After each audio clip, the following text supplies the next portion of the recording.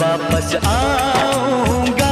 फिर अपने गाँव में, उसी की छाँव में। कि माँ के आंचल से गाँव के पी